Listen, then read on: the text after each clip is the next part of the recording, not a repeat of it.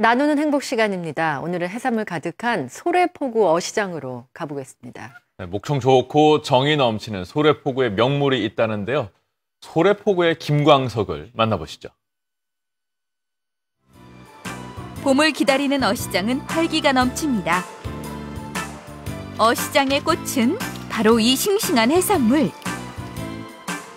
그런데 이곳에 주말에 뜨는 명물이 따로 있다고 하네요. 오늘 장사 많이 하십시오. 아, 날씨 덥네. 네. 소래포구 어시장의 김광석, 김진배 씨입니다.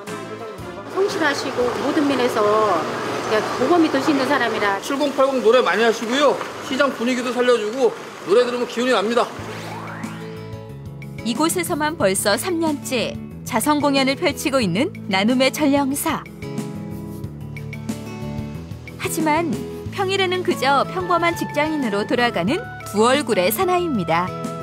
방송을 봤는데 고속도로에서 추돌 사고 났는데 부모 양부모가 그냥 돌아가시는 꼬맹이만 혼자 달랑 이렇게 있는데 자기를 과연 누, 누가 또 이렇게 키울까 할머니나 물론 친척들이 있겠지만 아, 그런 생각을 좀 많이 예, 좀 젖어 있었어요 항상. 드디어 진배 씨의 노래가 광장에 울려 퍼지기 시작합니다. 눈길 사로잡고 막바지 추위도 녹이는 훈훈한 목소리.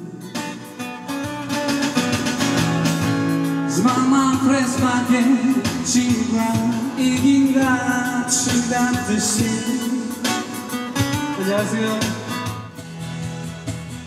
신청곡에 따라 가요에서 팝송, 트로트까지 레퍼토리도 다양합니다.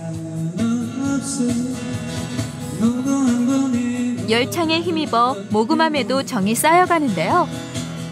60명 아이들한테 골고루 이렇게 나눌 때 3만 원씩 이렇게 지급이 되는데 제가 3만 원 기부를 하면 정부에서 아이 그 하나에 3만 원을 더해서 6만 원 정도 이렇게 지급하는 그 CAD 발달 계좌라고 그러죠. 그걸 하고 있죠.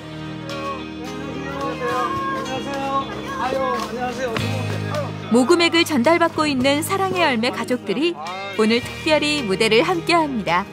소외된 이웃을 도와주신다고 하셔서 어떤 곡일까 궁금하기도 하고 또 저도 음악을 워낙에 좋아해서 즐거운 나눔에 좀 동참하고자 한번 왔습니다.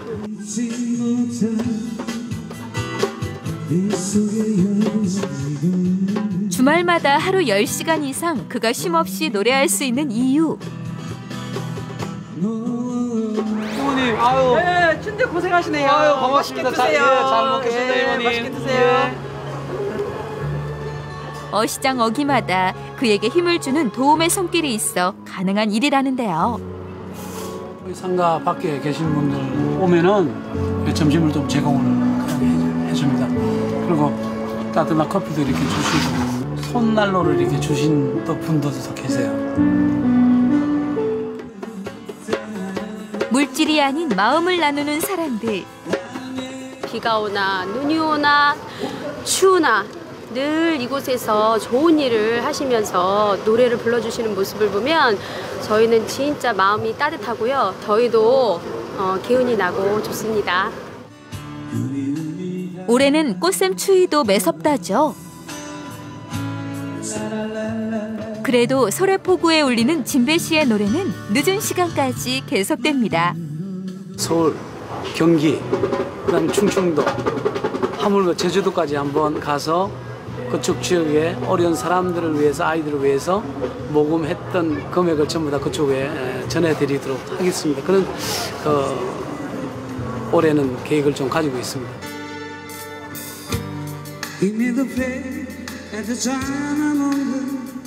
그의 노래가 나눔의 씨앗이 되어 오래도록 울려 퍼지길 희망합니다.